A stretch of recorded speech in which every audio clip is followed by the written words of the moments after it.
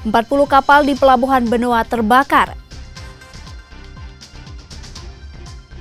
Siswa baru kembali ke sekolah setelah libur panjang. Serunya turnamen golf IJK Bali. Disiarkan dari Studio 1, inilah Kompas Dewata. Om Swastiastu. Selamat pagi saudara, menjumpai pagi Anda hari ini. Tim redaksi kami telah menyiapkan sejumlah informasi terhangat dari Pulau Bali. Jangan lewatkan siaran Kompas Dewata juga dapat Anda dengarkan di Radio Sonora Bali FM 98,9. Bersama saya Tari, langsung saja kita simak informasi selengkapnya di Kompas TV, independen terpercaya.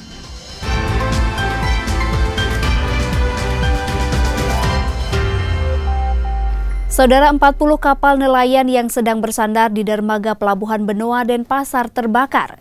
Peristiwa ini terjadi pada Senin pukul 2 pagi dan hingga pukul 11 siang api belum dapat dipadamkan.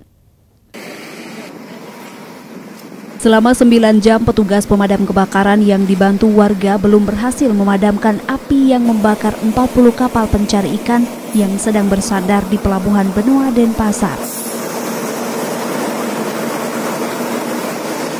Api cepat membesar dan merembet ke badan kapal lainnya juga dikarenakan kapal terbuat dari kayu dan beberapa kapal membawa bahan bakar berupa solar.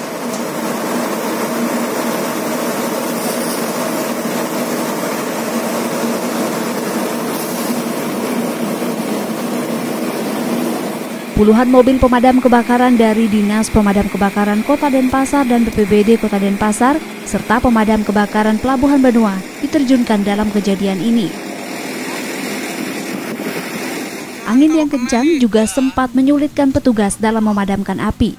Petugas bahkan menggunakan air bercampur deterjen untuk mempermudah pemadaman api karena banyak bahan bakar di dalam kapal. Dari Pelabuhan Benua Tepat tadi pukul 2.00 WITA terjadi kebakaran uh, kapal. Uh, sebanyak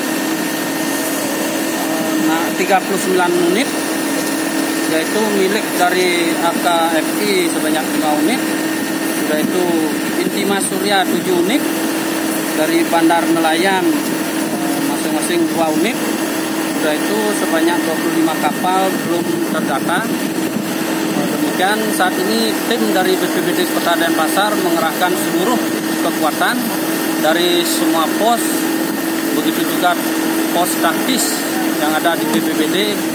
Artinya yang tidak tugas juga ikut membantu dengan seluruh armada membantu dua unit dari Badung. Kota Denpasar banyak menerjunkan 10 unit. Total armada berapa, Pak? Ya. Total armadanya berapa pemadam kebakaran? Total armada yang meluncur TKP 10 unit. Kalau kronologi saat ini sumber api dari kapal yang sebelah timur sudah itu uh, ada percikan api melontar ke kapal yang ada di sebelah barat ini uh, terjadilah karena keterlambatan narik begitu juga kondisi air yang kurang uh, besar akhirnya api melalap kapal yang ada di dermaga sebelah barat. Awalnya api hanya membakar salah satu kapal yang hendak berangkat melayar sekitar pukul 2 Wita. Namun kencangnya angin membuat api cepat merambat ke badan kapal lainnya hingga akhirnya membakar sebanyak 40 kapal milik nelayan. Ida Manabanjiwo, Ananda Bagus, Kompas Dewata. Sementara itu kebakaran 40 kapal nelayan di Pelabuhan Benoa diduga bersumber dari salah satu kapal yang sedang menyalakan mesin dan api tersebut kemudian merembet ke kapal di sampingnya akibat hembusan angin yang cukup kencang. Kebakaran hebat menghanguskan 40 kapal nelayan yang bersandar di Pelabuhan Benoa. Kebakaran diduga berasal dari salah satu kapal nelayan yang sedang menyalakan mesinnya.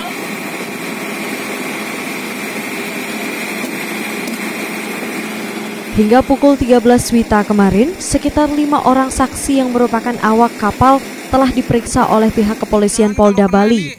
Dugaan sementara terdapat kelalaian yang dilakukan oleh awak kapal. Untuk mengetahui penyebab pasti kebakaran, pihak kepolisian Polda Bali masih akan melakukan penyelidikan, termasuk ada atau tidaknya dugaan kesengajaan dalam kejadian ini.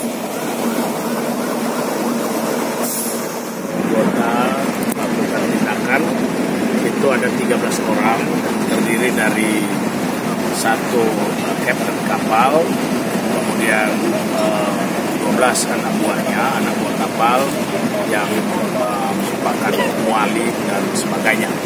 Nah ini dalam pemeriksaan sekarang uh, sudah sekitar lima orang sudah dilakukan pemeriksaan karena kita tetap untuk kita bisa melihat apakah ini akan kita kenakan yang berkaitan uh, berkaitan dengan kebakaran atau pembakaran.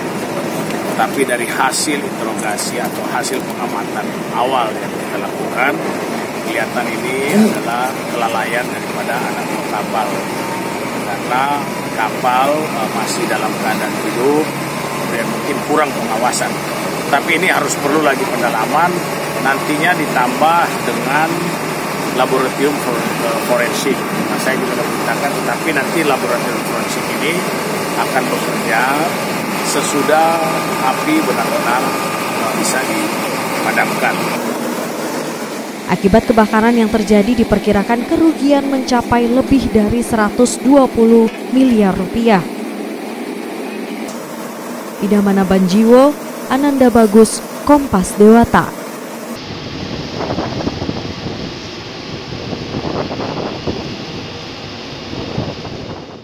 Dari informasi erupsi Gunung Agung setelah sempat meredam selama 36 jam, Gunung Agung di Karangasem minggu pagi kembali mengalami letusan.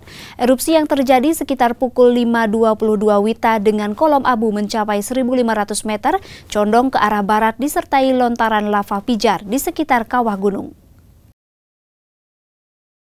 Dari rekaman kamera pemantau di Bukit Asah Karangasem, terlihat sekitar pukul 5.22 Wita, gunung setinggi 3142 mdpl kembali mengalami erupsi dengan kolom abu teramati berwarna kelabu dengan intensitas tebal condong ke arah barat disertai dengan lontaran lava pijar di sekitar kawah gunung. Erupsi ini terekam di alat seismograf dengan amplitudo maksimum 24 mm dan durasi 2 menit 38 detik. Sekitar pukul 10 Wita terjadi erupsi susulan dengan kolom abu mencapai 500 meter dengan durasi 2 menit 30 detik. Itu uh, ada jeda sekitar uh, 36 jam sebelum erupsi uh, yang tadi pagi dan kemudian tadi ada uh, erupsi lagi uh, walaupun skalanya kecil. Tapi kalau kita melihat ketinggian erupsi uh, pagi ini itu kan 1500 ya di atas puncak. Kemudian uh, tadi ini uh, jam 10 ini ada erupsi lagi tapi ketinggiannya hanya 500 meter di atas puncak. Melihat uh, ini berarti uh, data mengindikasikan bahwa frekuensi atau kemunculan atau kejadian erupsi uh, ini uh, jumlahnya uh, semakin uh, sedikit. Kita terus monitor uh, aktivitasnya karena saat ini uh, aktivitas uh, hembusan masih lebih tinggi ya dari sebelumnya. Jadi uh, dia ada sekitar 24 hembusan per hari. Hal ini mengindikasikan masih adanya efusi lava atau uh, keluarnya lava ke permukaan baik itu yang dikeluarkan melalui leleran atau aliran maupun melalui uh, erupsi ya uh, secara eksplosif Warga yang berada di lereng Gunung Agung dihimbau untuk selalu waspada dan tidak melakukan aktivitas di dalam radius 4 km karena sampai saat ini gunung masih berstatus siaga level 3. Eka Winarta, Kompas, Dewata.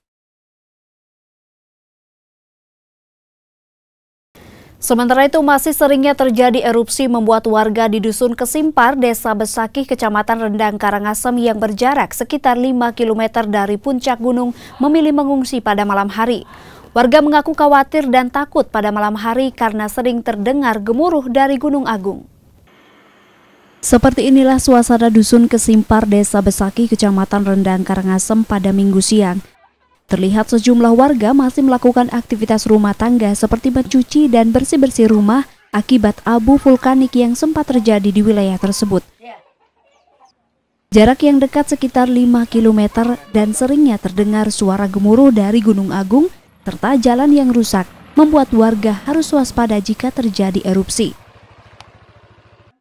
Meski menurut pemerintah lokasi Dusun Kesimpar tidak masuk dalam radius kawasan rawan bencana, Namun warga tetap mengaku khawatir dan takut pada malam hari karena sering terdengar gemuruh.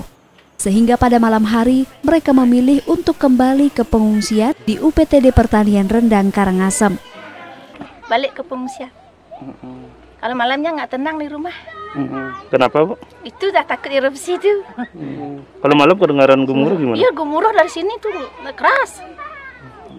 Gimana? Karena Berarti- dekat dari sini tuh. Hmm, berarti pulangnya ngapain aja, Bu, siangnya? Bu? Ini dah di sini nyapu di rumah tuh nyuci itu aja, masak. tuh. Kalau kondisi jalannya gimana, Pak, kondisinya? Sejalannya Hmm. rusak. Oh, karena itulah warga mengungsi ya? Ya, Hmm. Berarti malamnya semua ngungsi apa ya? bersih malamnya semua. Data dari BNPB hingga saat ini sekitar 5.132 jiwa pengungsi bencana erupsi Gunung Agung berada di 57 titik posko pengungsian yang ada di dua kabupaten, yakni Kabupaten Karangasem dan Gianyar. Eka Winarta, Kompas, Dewata. Beralih ke informasi lain saudara, kondisi aliran sungai di seputaran kota Bangli, Bali sangat memprihatinkan. Tumpukan sampah plastik dan sampah rumah tangga mencemari aliran sungai. Seperti inilah kondisi aliran sungai di seputaran kota Bangli Senin pagi. Sampah plastik, botol, dan limbah rumah tangga lainnya terlihat menumpuk. Sampah ini membuat air di sungai tercemar. Bahkan di saat hujan, sampah juga membuat aliran air terhambat dan menjadi penyebab banjir. Kondisi ini lantaran kurangnya kesadaran masyarakat akan membuang sampah dan menjaga kebersihan sungai. Sungai di sini seperti apa yang kita lihat di sini, sini memang masih banyak ada sisa sampah, sisa-sisa dari ha- hujan kemarin. Nah, sungai ini nanti tembusnya di BNI. Di BNI 46, di sebelah timur BNI 46 itu terpecah dua. Itu ada yang menuju ke Polres, jalur Polres, nanti tembusnya di Patung Adipura Timur. Sudah itu ke barat, ke gorong-gorong yang kita yang baru kemarin dan itu terjadi ledakan di Pertamina akibat sampah. Ternyata memang sumbernya kita lihat sisa sampah pun sekarang pada saat hujan reda kita masih bisa lihat di sini ada sisa sampah. Berarti kondisi sungai sepanjang aliran ini kondisinya seperti apa? Cukup memprihatinkan atau gimana? Sangat memprihatinkan Pak. Karena kalau ini kalau kita lihat sedang dalam keadaan normal, air tidak begitu besar Pak. Tetapi ketika hujan mungkin karena semua aliran sungai bermuara di sini, menurut warga juga tadi mengatakan bahwa itu sungai sampai eh, sama dengan badan jalan. Badan jalan. Iya. Sementara dengan kondisi ini, Dinas Lingkungan Hidup Kabupaten Bangli akan segera membuat aturan dan tim pengawasan untuk menindak tegas warga yang membuang sampah di aliran sungai. Wayan Hobiana, Kompas Dewata. Siswa baru kembali ke sekolah setelah libur panjang. Informasinya kami hadirkan sesaat lagi, tetaplah di Kompas Dewata.